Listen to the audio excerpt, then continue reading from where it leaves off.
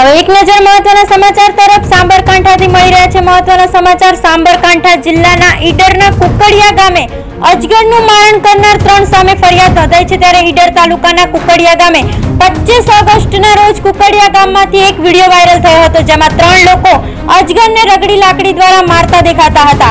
આ video social મીડિયામાં viral થતા છવ્વીસ ઓગસ્ટના રોજ ઈડર આરએફઓ જીએ પટેલને મળતા વન વિભાગ ઈડર સ્ટાફ દ્વારા જરૂરી તપાસ કરતા આરોપીઓ વિક્રમભાઈ, ચંદુભાઈ રાવળ, કરણભાઈ, રમણભાઈ રાવળ સહિત એક કિશોર તમામે તમામ રહે કુકડિયાની અટકાયત કરાઈ હતી.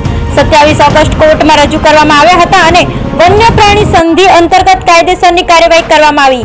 સાબરકાંઠાથી મળી રહ્યા છે મહત્વના સમાચાર. સાબરકાંઠા જિલ્લાના ઈડરના કુકડિયા ગામે અજગરનું મારણ કરનાર ત્રણ સામે ફરિયાદ નોંધાઈ છે.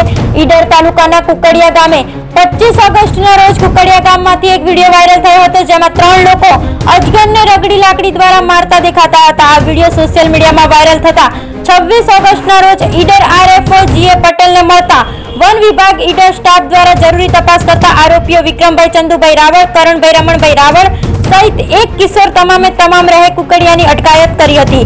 સત્યાવીસ ઓગસ્ટ કોર્ટમાં રજૂ કરવામાં આવ્યા હતા અને વન્ય પ્રાણી સંધિ અંતર્ગત કાયદેસરની કાર્યવાહી કરવામાં આવી છે.